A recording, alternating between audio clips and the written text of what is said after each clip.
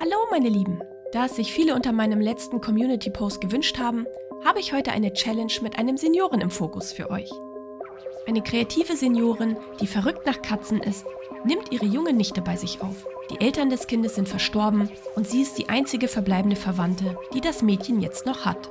Sie kommt in dem etwas speziellen Haus der Tante unter und jagt fortan von dort aus ihren Träumen hinterher. Welche Träume das sind und wie das Zusammenleben der beiden aussehen soll, das zeige ich euch jetzt in diesem Video. Meine EA-ID sowie alle Infos rund um die Challenge findet ihr wie immer in der Videobeschreibung. Los geht's!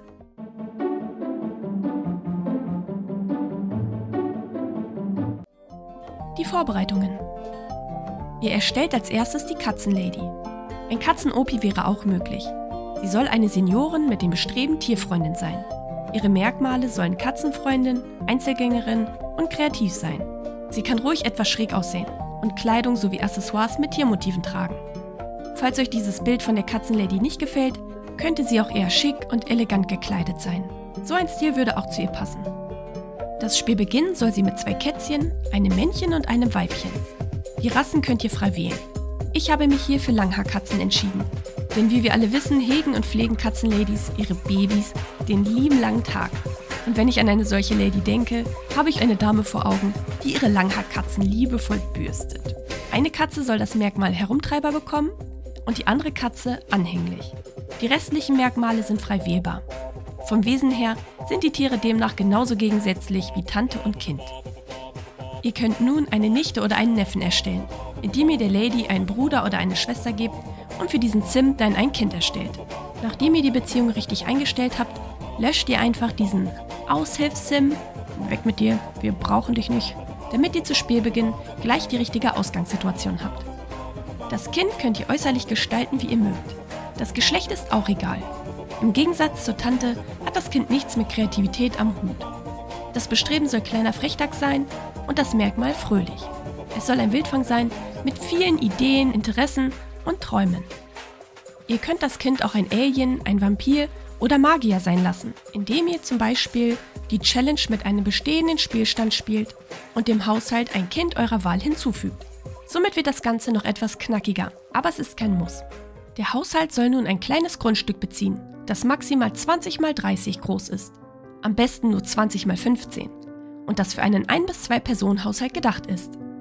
Ihr könnt ein einfaches Startergrundstück beziehen, aber ich schlage euch hier das Katzenkrallen Cottage in Brindleton Bay vor. Das Haus ist für ein 1- bis 2-Personen-Haushalt gedacht und hat zwar keinen Garten, aber dafür ein schönes Areal drumherum, das zum Erkunden einlädt. Euch ist bestimmt aufgefallen, dass es kein freies Zimmer für das Kind gibt, oder? Das passt aber in meinen Augen super zu unserer Katzenlady Challenge. Sie lebte bisher schließlich alleine und brauchte auch nur ein Haus für sich und ihre Babys. Das Kind muss also erstmal anders untergebracht werden. Später dazu mehr. Da das Grundstück natürlich weitaus mehr kostet, als der Haushalt an finanziellen Mitteln zur Verfügung stehen hat, müssen wir ein wenig cheaten. Allgemein gilt, dass ihr mit einem Budget von 50.000 Simoleons starten sollt.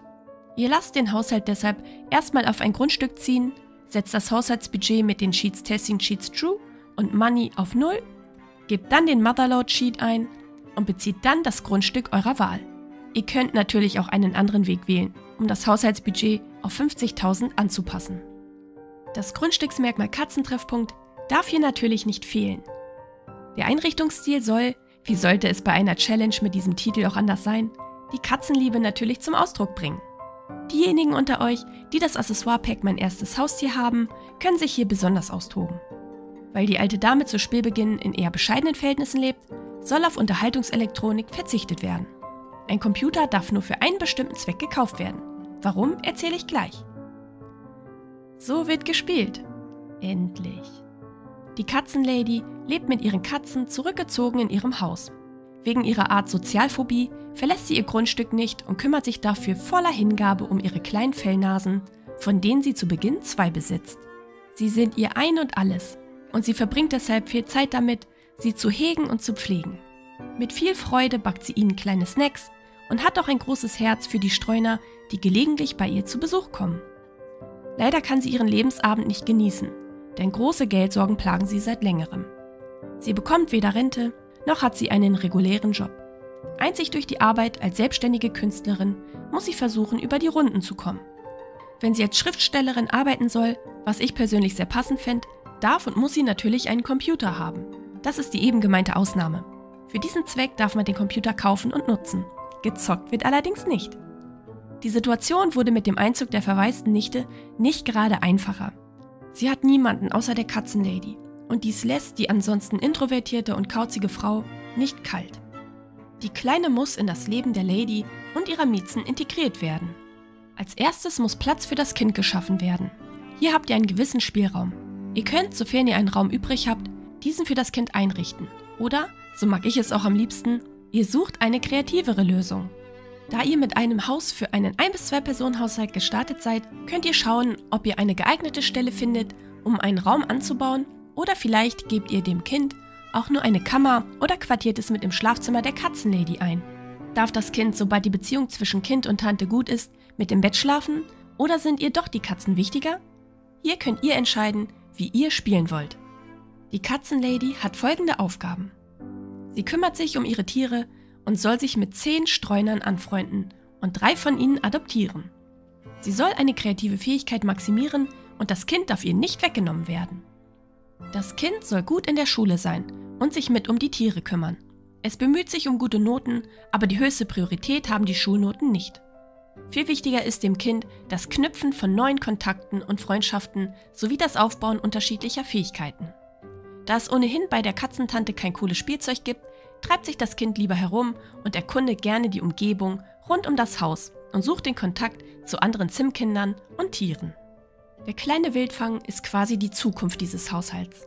Da die Katzenlady schon eine Seniorin ist, wird sie nicht ewig da sein. Psst.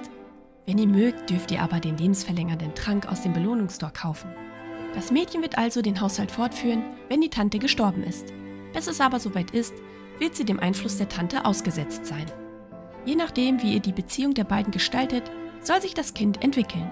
Wenn zum Beispiel das Kind eher schlecht umsorgt wird und es zum Beispiel keinen eigenen Bereich hat, und nur auf dem Sofa schlafen kann, könnte man das Kind zu einem Sim heranwachsen lassen, der Katzen nicht mag, sondern Hunde oder Tiere generell verabscheut. Das Kind könnte bei einer guten Beziehung aber auch in die Fußstapfen der Katzenlady treten oder, und jetzt kommt mein Lieblingsszenario, einen spannenden Mittelweg finden. Das Kind könnte später genauso zurückgezogen mit den Katzen leben, könnte sich die Tante als Vorbild nehmen und ebenfalls Künstlerin werden oder wegen der hingebungsvollen Art der Tante den Wunsch entwickeln, Tierärztin werden zu wollen. Wenn die Tante fleißig war, habt ihr vielleicht schon ein gutes Budget für eine Praxis zusammen. Alternativ kann es sich das Kind zur Lebensaufgabe machen, Streuner aus der Nachbarschaft zu versorgen. Ich habe die Challenge recht offen gestaltet, damit ihr sie individuell spielen könnt. Es gibt unterschiedliche Möglichkeiten, wie man sie spielen kann und genau das finde ich reizvoll. Wenn ihr mögt, könntet ihr sie auch mit dem neuen Kohleschefin-Szenario verbinden. Was haltet ihr von der Idee? Ich hoffe, sie hat euch gefallen. Bis zum nächsten Mal. Eure Marisa.